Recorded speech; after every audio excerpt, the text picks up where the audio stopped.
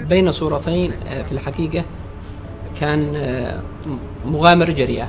لمست فيها عدة أشياء يعني بين الحل والمر 3 2 1 اكشن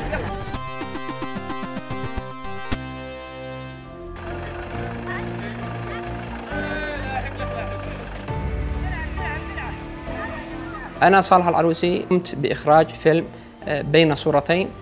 الفيلم الذي يحكي ويناقش آه، بصورة أساسية وضع آه، الحرب وكيف أثرها على الأطفال.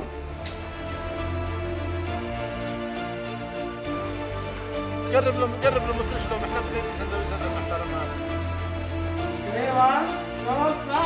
خضرت لي يعني فكرة الفيلم آه، مشهد أو آه، حدث حصل إحدى الفتيات تقوم بتصوير طفلة. فأثناء التصوير البنت دشيد مسك البندق تتصور به. في زجرت المصور وقالت ما بش داعي مسكي ليش وردة أو ذا؟ فدار الفيلم كله لتحقيق هذا المشهد. ما تتصور وتكون مثل أبوها. هذا. يا عم خليها تختار الذي تشتيه ما بش داعي لعنادك هذا. أبو سارة ابني وبنتك بنتي. ما عاد تصور لها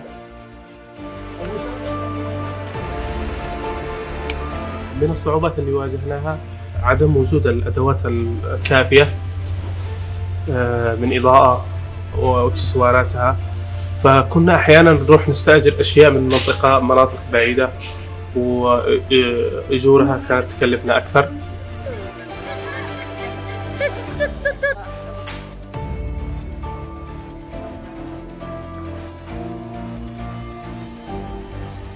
المعاناة آه، كبيرة جدا لكن رغم تلك المعاناة الفريق وقف وقف أمام تلك المعاناة.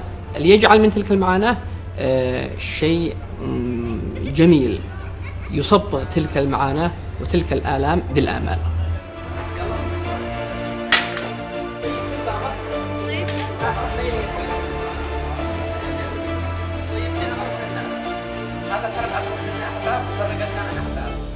سيتعلم المشاهدون من خلال مشاهدة فيلمي إلى آه، رسائل مباشرة ورسائل غير مباشرة. الرسائل المباشرة معنى التعايش كيف أقبل الرأي الآخر؟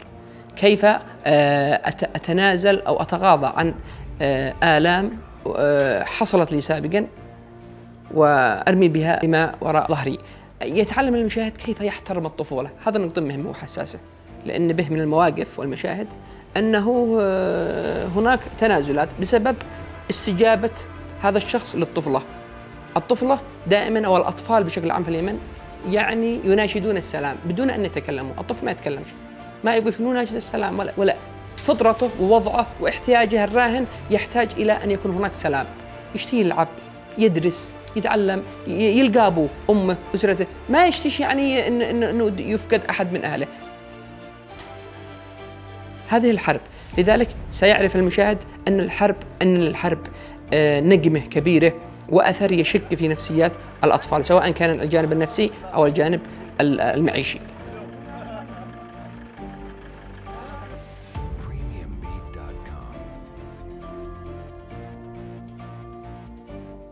أتمنى من خلال الفيلم ألا آه، تتكرر تلك المعاناة لما حدث لبعض من تلك الشخصيات.